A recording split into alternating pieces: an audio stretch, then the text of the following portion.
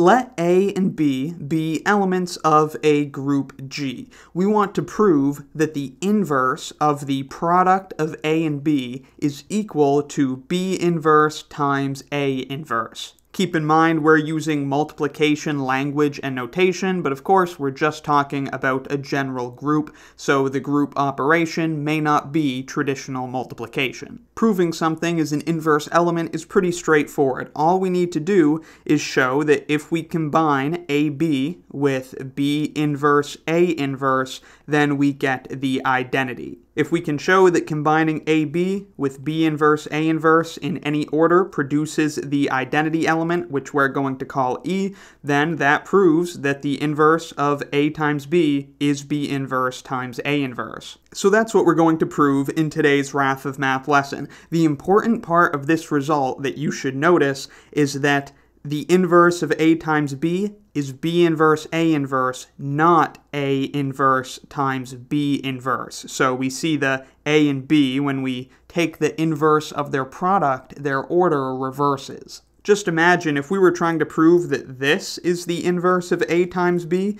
we wouldn't have much luck. Take a look at this we would have this expression, and we'd want to show that it's equal to e, the identity element. And there's really nothing we could do. We could group the elements slightly differently by associativity, so we could have A times BA inverse times B inverse. But what we would really want to do is combine A with A inverse so that they go to the identity, and combine B with B inverse to produce the identity as well. But we can't do that because groups are not always commutative, so we can't just switch around the order uh, that we're combining these elements in. All we can do is change our parentheses, but we can't flip the order of the elements around. So we can see this wouldn't go anywhere. So enough of that, in just a minute we'll go through the quick proof of the actual result that if we combine A times B with B inverse A inverse in any order, that will produce the identity. Quickly, I just want to mention that this is sometimes called the socks shoes property, which I think is a cute little name for it.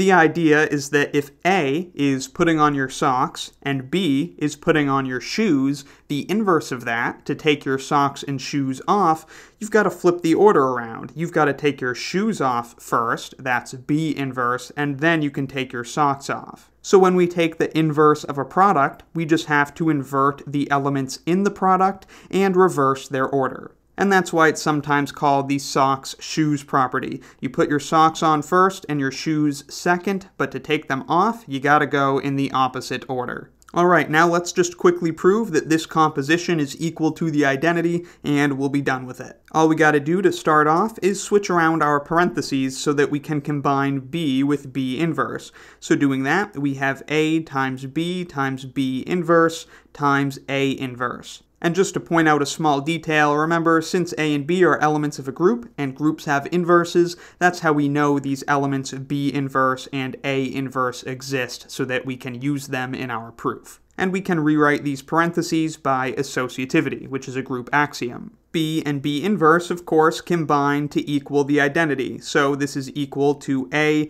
times the identity times A inverse and we could group these elements however we want. Let's say we group A with E, like that.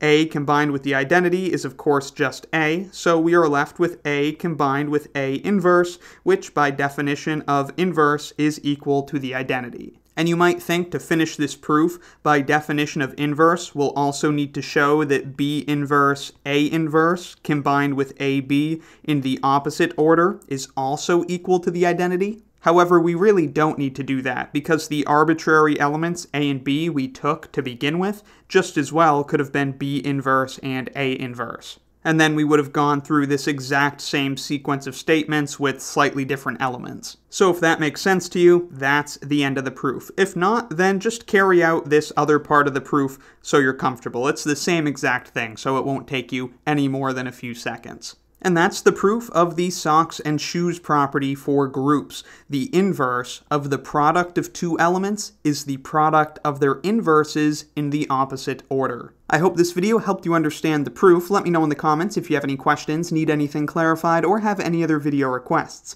Thank you very much for watching. I'll see you next time, and be sure to subscribe for the swankiest math lessons on the internet. And a big thanks to Valo, who, upon my request, kindly gave me permission to use his music in my math lessons. Links to his music in the description. Blind a sight to see. In four part disharmony when